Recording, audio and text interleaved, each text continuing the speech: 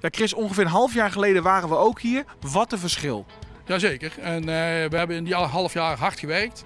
En eh, nou, dit is het resultaat. En als deze video eh, live gaat, dan is het ook al in gebruik. Ik ben heel benieuwd. Neem je ons mee? Ik neem jullie mee.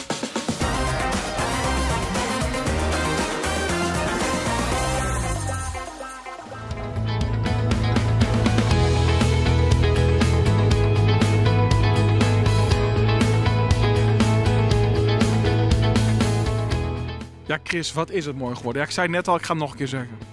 Ja, het is eh, heel, heel erg mooi geworden en alles valt nu op zijn plaats. En wie zich de plaatjes nog herinnert toen we het aanbesteden, die zal zich zeker hierin herkennen. En zeker ons, eh, onze ogentrekker, Ja, de mooie trap. de mooie trap. Hij ligt er, de zitjes zitten er al op. Dus we kunnen vooruit. Ja, want het Dommelhuis, wat gaat hier gebeuren?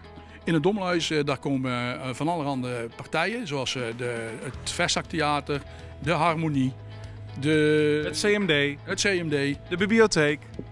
noem ze maar.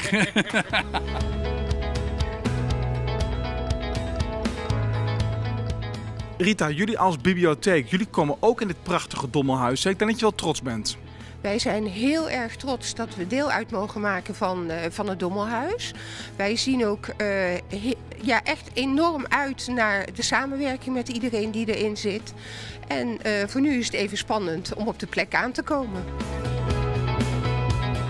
Ja, ik zie hier de bekende dames van CMD. Ja, dat zeggen ze. Want jullie komen ook op deze mooie plek, hè? Ja, wij komen ook hier. Waar kijk je nou het meeste naar uit? Eh, nieuwe werkomgeving. En eh, of de mensen ons kunnen vinden. Nou ja, daarom filmen we dit ook. Dat mensen allemaal weten dat ook het CMD hier zit.